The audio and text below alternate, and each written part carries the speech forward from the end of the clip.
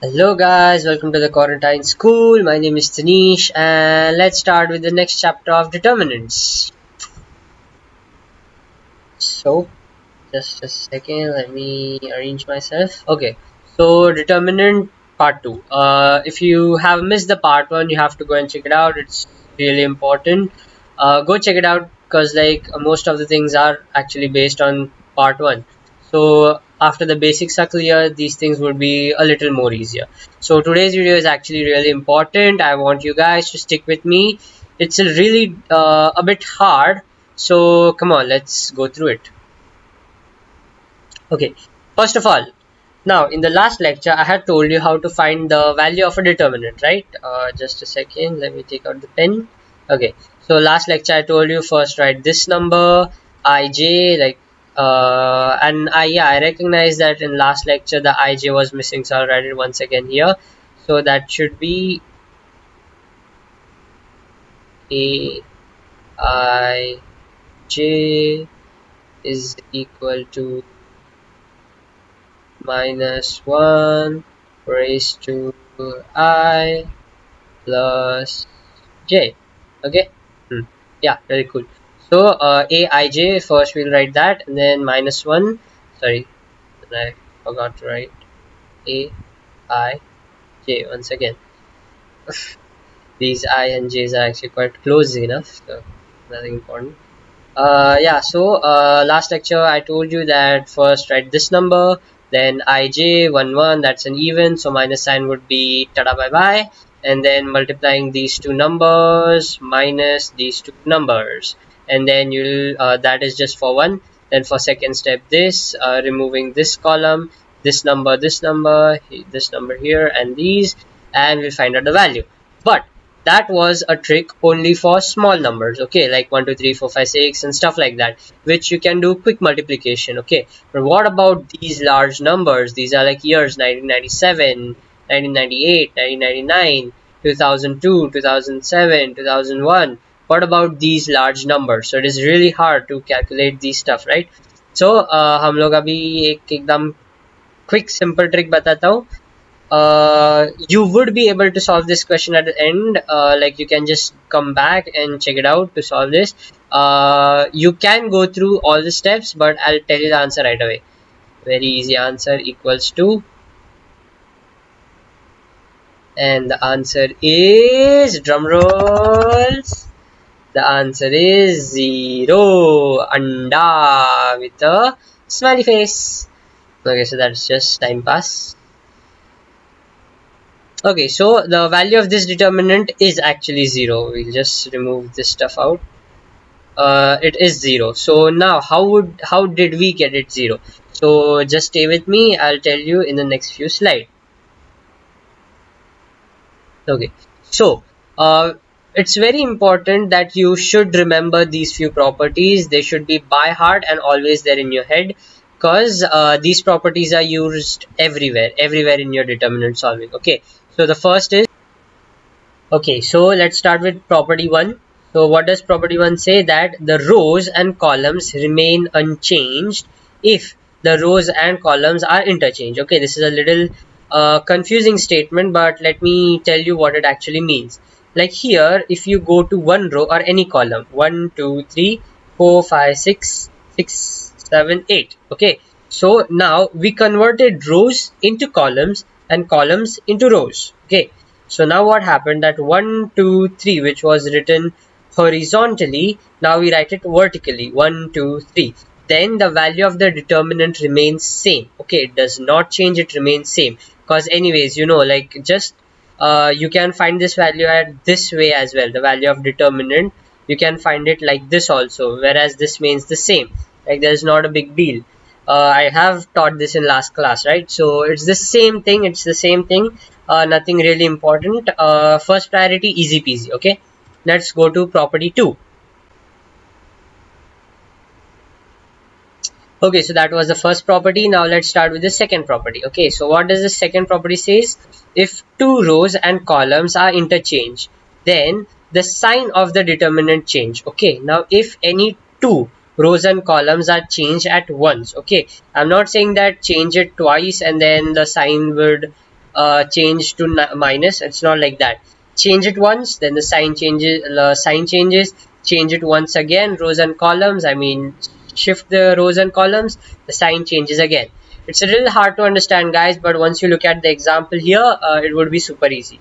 So as you can see 1 2 3 4 5 6 6 7 8 okay same deter uh, same determinant as last time. Now let's take the value of this determinant as x. I'm not uh, finding out the value. Uh, you guys can try it. Okay so if the value of this is x let us change c2 and c3 okay that means this column and this column. Let's change these both. Let's replace them with each other. So we have just changed it okay? Then what can we see? 1 4 6 3 6 8 and 2 5 7 then the value of this determinant would be minus x okay? Value of this determinant would be minus x. What would it be? Minus x so uh, sorry uh, value of this determinant would be minus x. Uh, now let's go to property 3 because this was also easy. Now uh, here we have seen the example of c2 and c3 we can also write r1 and r2 like changing these two and then r3 and r2 uh, sorry r3 and r2 then exchanging these both. But the thing that is interesting in all these is that uh, the thing that is really interesting here is that here we can see that c2 and c3 has been changed so uh, the value was earlier x and now the value is minus x then now the value of this determinant is minus x. What if we change again C1 and C3 of this determinant here, uh, the second determinant, then what do you think would be the value? What do you think? Think, think, think. Come on, I want answers. They're not that stupid. इतना भी पागल नहीं हो तुम लोग. Okay. So uh, the value of this determinant would again change back to x. Okay. So the more number of times you change, the more number of times the sign changes. For example, you change it once, value of determinant minus x. If you change it twice, value of determinant plus x again. So the even number of time you change it, it's the answer remains same. The odd number of time you change the rows or columns, then the value becomes negative of the original value and there is no mod and uh, mod what type of stuff okay ऐसा कुछ होता नहीं है इसमें okay now property 3 property 3 property 3 property 3 so the property 3 is if two rows or columns are same then the value of the determinant is 0 now in this determinant we can see that 146 146 the both the columns have same values hence we can say the value of this determinant is 0 okay. Now you can go back to the first question at the really starting of this video. Go back check it out. You can see that two columns are same. Like in this two columns are same. In that question i guess two rows are same. I don't know. I'll have to check it back. So we can clearly say that the value of that determinant is zero. So these are short tricks uh, short tricks that we guys can use to find the value of any determinant now property 4, it's a little important property. Let's start. In matrices, uh, we had seen that if we multiply 2 to this matrix, you can see that this is a matrix, okay? Uh, as I had told you in the very first video, like agar aisa danda bahar nikla, agar ye aisi dandi bahar nikli, that means this is a matrix. This is not a determinant, it's a matrix. So in matrix, if you write 2 outside that means you have to multiply to each and every row or column okay each and every row or column. So this forms 2, 4, 6, 8, 10, 12, 12, 14, 18. So as you can check it with this, it is the same thing. But in determinants, things get a little different. So we can see that there is no danda coming out over here. Hence, uh, this is uh, a determinant. Okay. So in determinant, if we write 2 outside, this 2 can be removed from any row particular sorry any particular row or any particular column. Okay any particular row or any particular column. You cannot say like here i can see two here i can see wait i'll give you a nice example.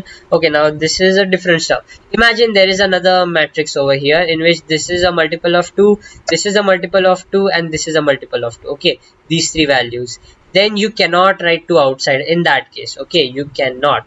So the answer to this determinant can be 2 4 6 4 5 6 6 7 9 that means we have multiplied this 2 only in this first column okay this can be multiplied to the second column can also be multiplied to the third column or row 1 row 2 or row 3 as well okay but मैंने यहाँ पे सिर्फ़ एक example लिया है uh, तुम लोग के पास तुम कुछ भी कर सकते हो you can do lot of stuff because it's like a complete universe like जितना कर पाओगे उतना कर लो भाई बस मचा के आओ okay so property 5 property 5 it's kind of easy kind of difficult as well so let's start if element of any row or column are 0 okay if all the element i have missed out the word all over here if all the elements of any row or column are 0 then the value of determinant is 0 because 0 into these two numbers 0 into these two numbers and 0 into these two numbers again so answer to 0 ही आना 0 into 0 थोड़ी infinity होता है यार पागल वागल हो क्या So uh, answer is 0 now let's go to property 6 determinant can be broken down to different pieces. Okay it can be broken down to different pieces. For example you can see a plus x b plus y c plus z. Okay so we can write this as two different determinants. And those are a b c and then the d e f g h i remains same. Okay these six elements stays the same. Plus x y z and then d e f uh, h i j. Sorry ghi so in this case that these two values remain same. I mean these six values remain same. But because of this plus uh, we can separate uh, in them into two different determinants. Okay. Now let's take an example like i can't mention it in this slide.